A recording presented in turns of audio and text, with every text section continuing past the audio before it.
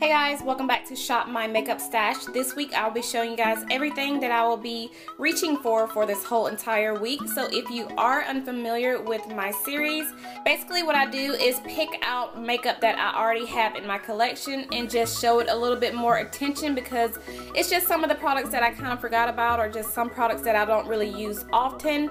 So I do want to get more use out of the makeup that I already have. So this week I will be showing you guys everything that I will be reaching for for this whole entire week. So if you want to see all of the makeup products that I'll be using this whole entire week, then go ahead and keep on watching.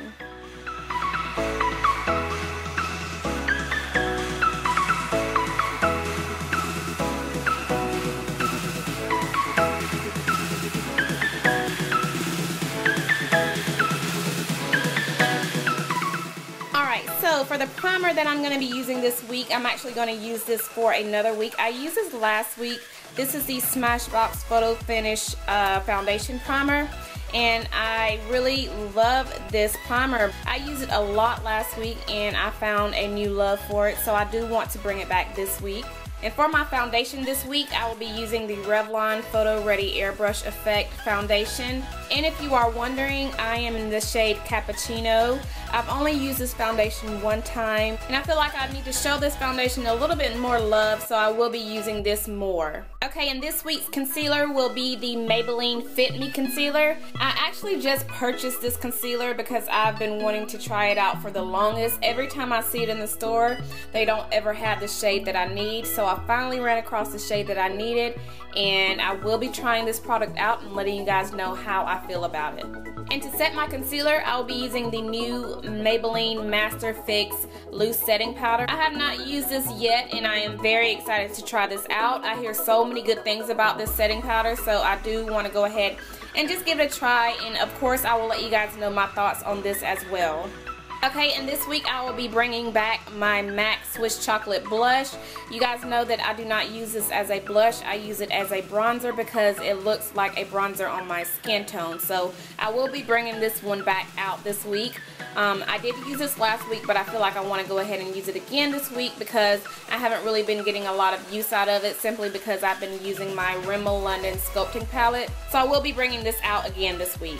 Okay, this week I will be using two blushes, one of which is again the Lorac Color Source Buildable Blush.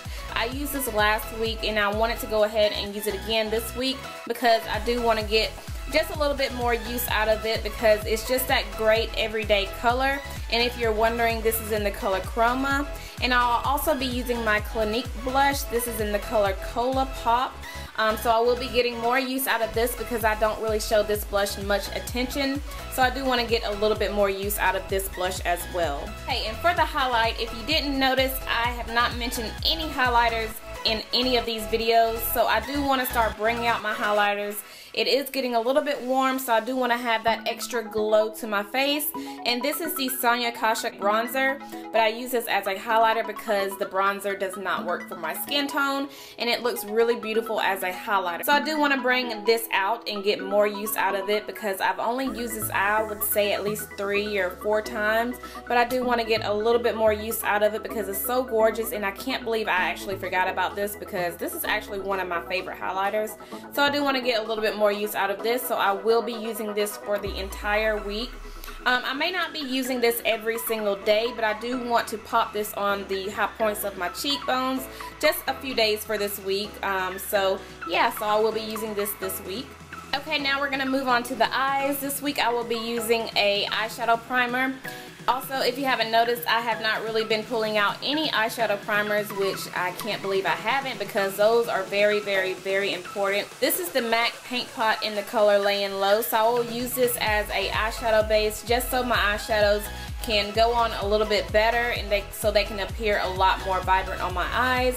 Um, and then after I put on my eyeshadow primer, I like to go in and put on a loose setting powder on top of that. It makes the eyeshadows go on a lot more smoother and they are so much easier to blend. Okay, moving on to my eyeshadow palettes. This week I will be bringing out two eyeshadow palettes that I haven't really been showing much love to.